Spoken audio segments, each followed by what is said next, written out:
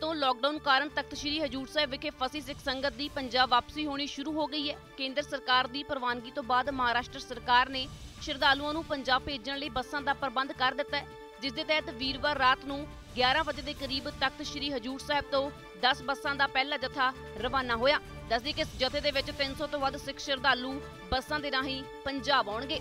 ਗੌਰਤਲਬ ਹੈ ਕਿ corona virus ਦੇ ਕਾਰਨ ਪੂਰੇ ਦੇਸ਼ ਦੇ ਵਿੱਚ ਲਾਕਡਾਊਨ ਹੋ ਗਿਆ ਸੀ, ਜਿਸ ਕਾਰਨ ਤਖਤ ਸ੍ਰੀ ਹਜੂਰ ਸਾਹਿਬ ਗਈ, ਲਗਭਗ 3000 ਦੇ ਸੰਗਤ ਉੱਥੇ ਫਸੀ ਹੋਈ ਸੀ, ਜਿਨ੍ਹਾਂ ਨੂੰ ਕਿ ਹੁਣ ਬੱਸਾਂ ਦੇ ਰਾਹੀਂ ਪੰਜਾਬ ਲਿਆਂਦਾ ਜਾਵੇਗਾ। ਗੌਰਤਲਬ ਹੈ ਕਿ ਸ਼ਰਧਾਲੂ ਇਹਨੇ ਦਿਨਾਂ ਤੋਂ ਤਖਤ ਸ੍ਰੀ ਹਜੂਰ ਸਾਹਿਬ ਵਿਖੇ ਰਹਿ ਰਹੇ ਸਨ, ਜਿਨ੍ਹਾਂ ਦੀ ਕਿ ਹੁਣ ਪੰਜਾਬ ਵਾਪਸੀ ਹੋ ਗਈ ਹੈ।